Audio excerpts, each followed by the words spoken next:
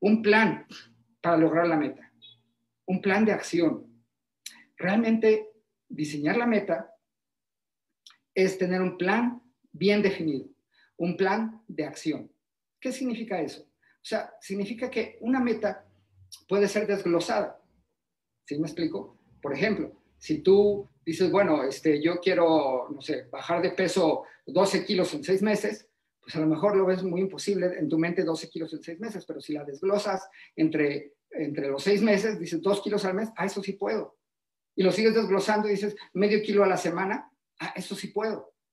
La, la simplificas. Una meta la puedes simplificar y vas midiendo esos, esos resultados semana tras semana, semana tras semana. Un plan te permite ir, concretando tu meta y te va emocionando, no porque ya alcanzaste, sino porque esos pequeños eh, logros, esos pequeños pasos que tú mismo trazaste, los vas alcanzando y sabes que vas a llegar a tu meta. Sabes que vas a llegar, peldaño por peldaño. Yo me acuerdo cuando aprendí a conducir, aprendí a manejar. Tenía por ahí unos 16 años y me acuerdo que mi papá me enseñó algo. Me tocó en la, en la carretera, eh, neblina y, y en la noche, o sea que no veía, yo estaba muy nervioso. Y me acuerdo que mi papá me dijo, José Alberto, cuando, cuando toque esto, tú solo ve la línea blanca, la línea blanca y guíate por la línea blanca. Papá, pero si me estrello con otro coche enfrente, tú vas a ver las luces rojas y vas a poder eh, eh, hacer, hacer los ajustes necesarios. Lo mismo pasa. Guíate por la línea blanca, guíate por cada escalón, cada peldaño, cada meta. Y cuando veas algunas luces rojas, acude a tu mentor, acude a, a la guía, acude a los que ya pasaron el camino y va a ser cómo se va a simplificar. Pero sí es muy importante algo, organizar tus prioridades. Yo me acuerdo que recién que eh, estábamos empezando, el doctor Nevares, eh, yo era apenas diamante, y me dijo, José Alberto, ¿cuál es tu equipo? Pues fui con, con mis hermanos, mi esposa, este, los que estábamos empezando, y mi hermano Jesús le preguntó al doctor, doctor, ¿podríamos saber quién va a tener éxito en este negocio y quién no? Y nos contestó, claro que se puede saber. ¿Cómo? Pues si no tenemos una bolita mágica, ¿quién va, quién va a tener éxito quién no va a tener éxito? Nos dijo, cuando ustedes vean una persona que empieza a cambiar sus prioridades, esa persona va a tener éxito. ¿A qué me refiero con cambiar sus prioridades? Cuando en vez de decir, ay, pero es que eh, es el partido, no puedo conectarme a la Universidad del Éxito, ya verás el partido otro día. Conéctate. ¿Tu prioridad cuál es? Tu libertad, el conocimiento que te va a dar esa libertad. Y este es el conocimiento que aplicado nos habla libertad a miles de personas en el mundo. Definir y enfocar en las metas crucialmente importantes. ¿Qué significa eso? Que hay personas que se ponen muchas metas, muchas metas.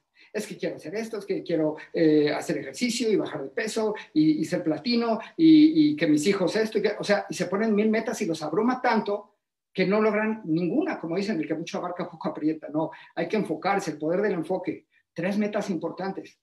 ¿Cuáles son las metas crucialmente importantes que van a cambiar tu vida para siempre? Ahí es donde debe ser tu prioridad.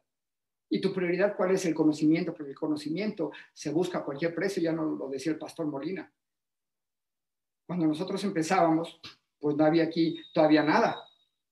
Y Ángeles Balboa comentó, ella como pionera y su esposo, en paz descanse, Enrique, que tuve el, privilegio y el honor de conocer, ellos empezaron en Villahermosa, también en Chihuahua empezaba por allá Alfredo González, pero aquí en el centro eh, de la Ciudad de México no había nada.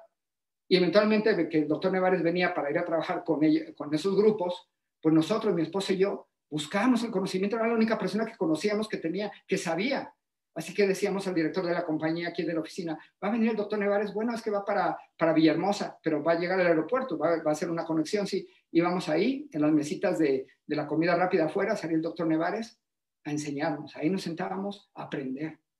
Yo le hacía unas preguntas que, que hoy no te puedo decir porque me da pena todo lo que le preguntaba, que digo, ¿cómo me atreví a preguntarle esas tonterías? Pero siempre nos tuvo paciencia, como hasta ahora, una paciencia, una, él sabía lo que estaba haciendo con nosotros, sabía que estaba moldeando líderes que iban a tener impacto. Nosotros no lo sabíamos en ese momento, pero él sí lo sabía pero lo que sí sabíamos es que era la única persona que conocíamos que sabía lo que, lo que hay que hacer. Por eso buscamos el conocimiento, busca siempre el conocimiento, ahí está la guía del éxito, todo nuestro sistema educativo, los mentores, el equipo, conéctate siempre, conéctate los sábados al Zen Builder, conéctate a, las a los planes, a los megaplanes que se dan para los países, conéctate porque vas a ir aprendiendo, vas a ir aprendiendo. ¿Y por qué te digo esto de organizar las prioridades? Porque nosotros debemos saber con quién trabajar. Una meta importante también es saber con quién trabajar. Ahí está el saber. Está la ley de Pareto, la ley de 80-20. ¿Qué, ¿Qué significa eso? Te dice que el 80%, de, en este caso en nuestra organización, el 80% son, bueno, consumidores que entraron solo por el producto y les gusta y les interesa y todo, pero no están, no están interesados en hacer el negocio o tienen otras prioridades. Otras personas porque les gusta vender y están en el negocio de la venta y no es malo, qué bueno, es importante también saber mover los productos, pero no les interesa construir una red.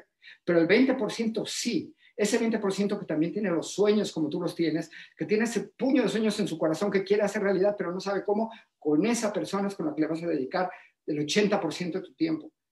No es que vas a despreciar a los otros, no, les vamos a dar también un 20% de nuestro tiempo de consejos de ayuda de, lo que están haciendo, pero el 80% de nuestro tiempo, ¿a quién lo dedicamos? A esas personas, ese 20% comprometido, ese 20% que decidió poner sus metas por escrito, ese 20% con el que podemos medir lo que estamos haciendo. Porque lo más valioso que tú tienes, líder, es tu tiempo. Tu tiempo debe ser valorado. Valora, valora tu tiempo para que otros también lo valoren. Así que esa ley de Pareto es fundamental en nuestro equipo, saber con quién trabajar.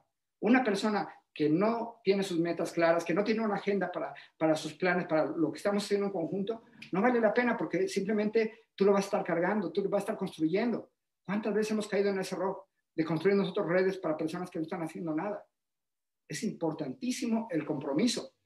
Y por eso la ley de Pareto de 80-20 es fundamental en nuestro negocio. Convertir las metas en acciones sería el siguiente paso.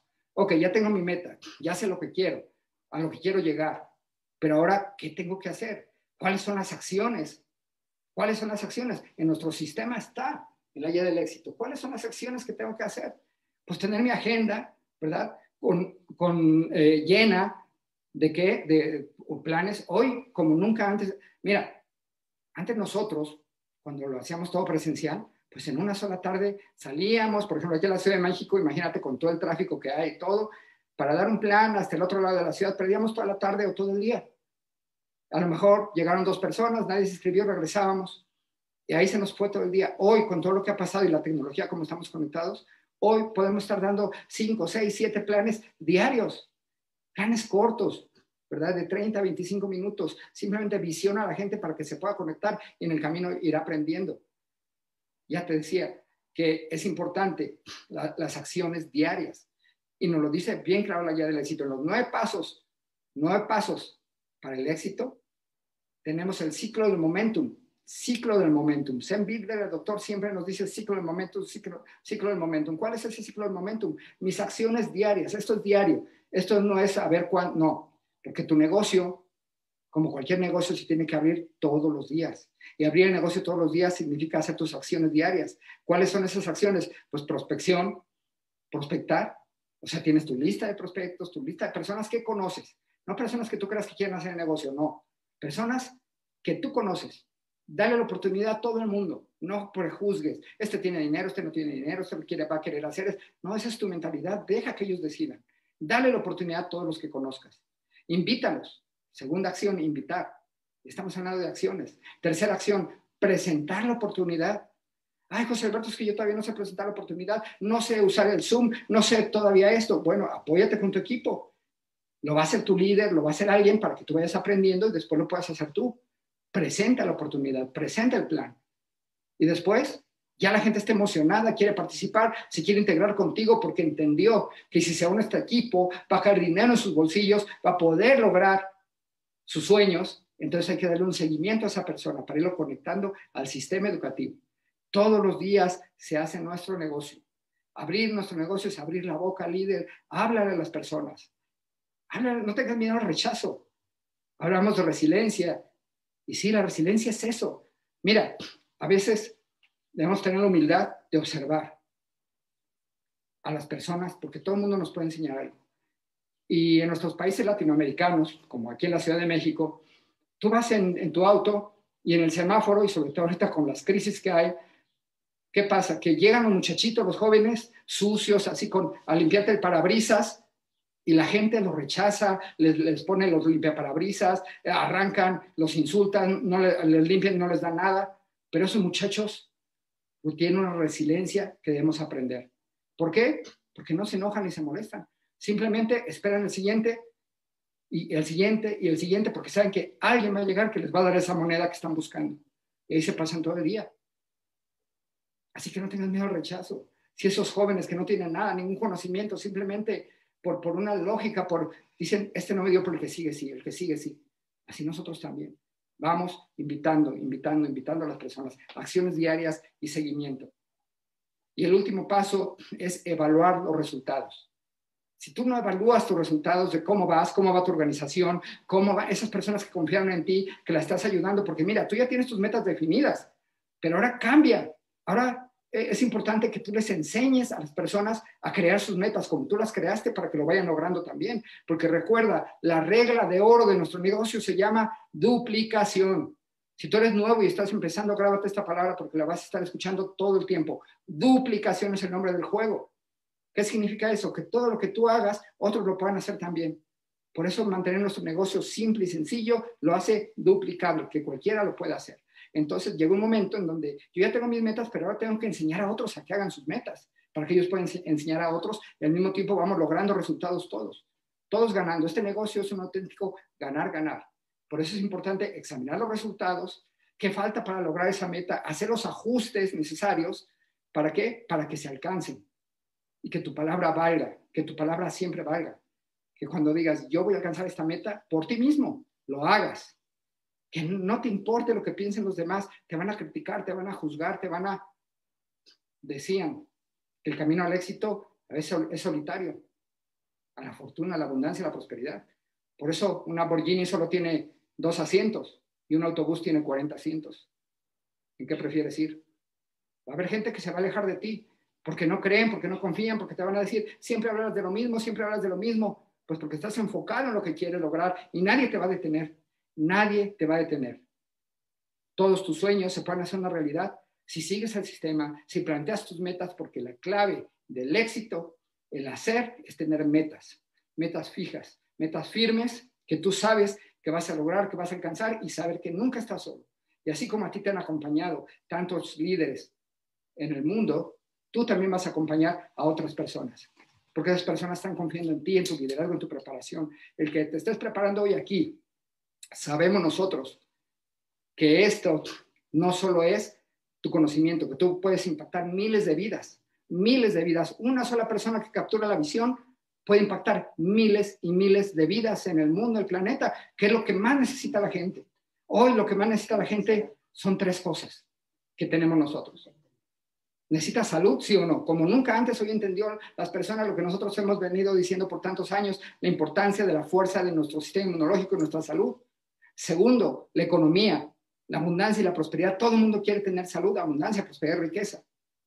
Y la tercera, que quizá podría ser la primera porque es la más importante, que hoy en día todo el mundo necesita ser escuchado, necesita ser importante para alguien. Necesitas darle tu tiempo, tu amor, tu cariño a una persona. Porque la única manera de que una persona acepte que tú puedas eh, ayudarlo con sus metas y poder corregirlo en el camino es porque le has dado suficiente amor, apoyo, ayuda para que esa persona acepte que tú puedas eh, ir moldeando su estructura, su carácter, su formación como empresario de este gran proyecto socioeconómico. Así que líder, ha sido un placer para mí compartir contigo en esta, esta clave del éxito que son las metas. Realmente es un tema apasionante, pero que nos ha llevado a todos los que hemos establecido las metas, todos los líderes que tú ves, platinos, oros, club 100 mil, todos los líderes con resultados, es porque se han puesto metas claras y definidas y han actuado en consecuencia en sus acciones. Así que ha sido un placer para mí compartir contigo y nos vemos en las playas del mundo. ¡Bravo! Mantente conectado, suscríbete a nuestro canal de YouTube y marca la campanita para que puedas recibir notificaciones de nosotros continuamente.